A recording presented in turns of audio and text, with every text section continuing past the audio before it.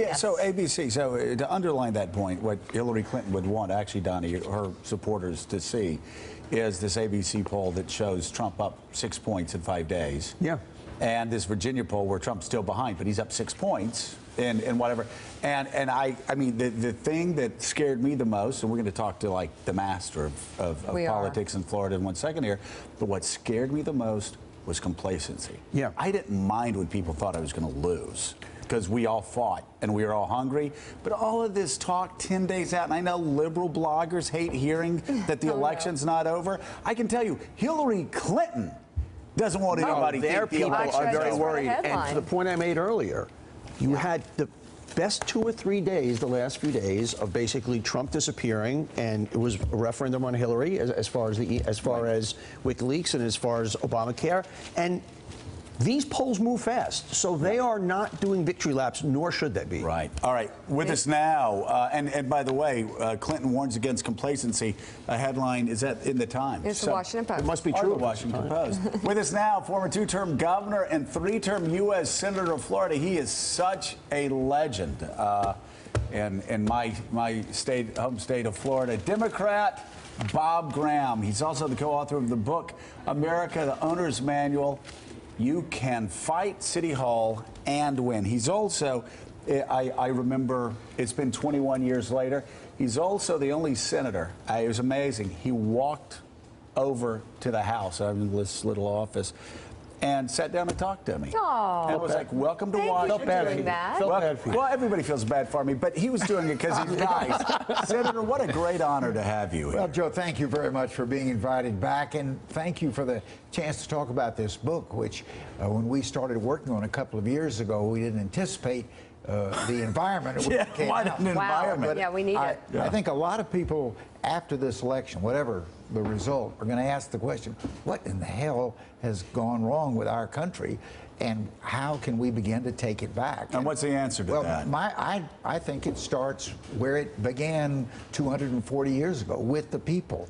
Uh, our problem is that uh, we haven't been educating Americans about their rights as citizens in a democracy since the 1970s. So we've got two generations of Americans who don't, don't understand the basic principles of democracy, much less how they, as a citizen, can use their rights and responsibility to make a real difference. That's what this book gives them a guideline to effective citizenship. People feel so disconnected from Washington, like it's us and them. And they probably need to get a sense of inspiration that they perhaps can get involved in some way. Uh, yes, and I'd also say I think politicians need to learn some of these lessons. It's amazing to me there were about 20 people ran for president in both parties. It seems as if the one who was the least political, Donald Trump, uh, Trump was the one who had listened to the people and had heard their dissatisfaction, their skepticism, cynicism, anger, and built his campaign around that. What? Why weren't the other 19 uh, aware of what was going on? It's what a lot of Republicans are asking right now, Willie. Yeah, well, th- in this book, we should point out this is not like a fluffy memoir. This is a civics book that you could read in a political science class. It's incredible. So, what would you tell an ordinary citizen sitting at home who says, I have no say in the process? Everything's decided in Washington. What do you say to them? I'd say you're absolutely wrong. Our government uh, is built around the principle that the people govern, the people make the decision, and the people can lead. Uh, this book is filled with case studies of where Americans from all backgrounds came together and solved a serious problem. Drunk driving uh, in America wasn't solved by government. It was solved by a group of women in Sacramento, California, some of whom had lost a child to a drunk driver, and decided we're going to do more than just grieve. We're going to try to understand why and what can be done about it. And today, drunk driving deaths in the United States are down about 50% what they were in the 1980s. So, Senator, this is a book about utilizing and celebrating democracy.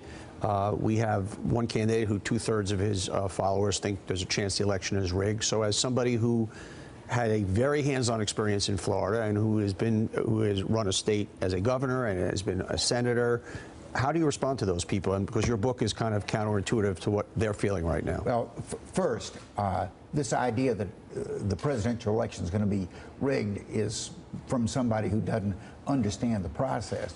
We have an extremely decentralized electoral process in the United States. The 50 states have first line responsibility.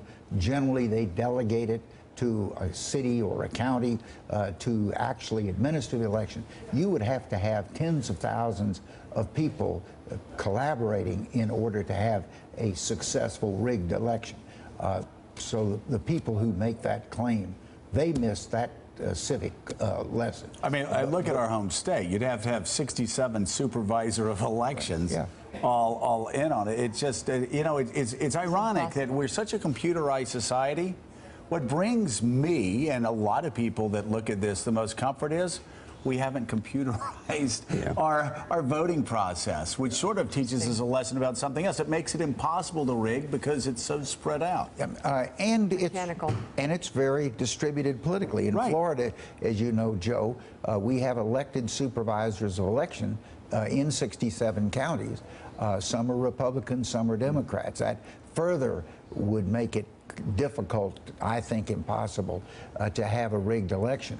But uh, again, coming out of this election, uh, whatever happens, we're going to have some real challenges uh, in this country in reestablishing citizens' confidence in the government and particularly citizens' confidence in themselves and their ability to make a difference. So And the one, one of those is- supervisor of elections, Yes. Judge Stafford's son, oh. David Stafford in Oh. Escambia County. I know you know Judge Stafford. Yes. very well. Well, very good to have you on. The book is America, the Owner's Manual. Senator Thank Bob you. Graham, thank you so much. Thanks, Up Senator. next, the great David Crosby Yes.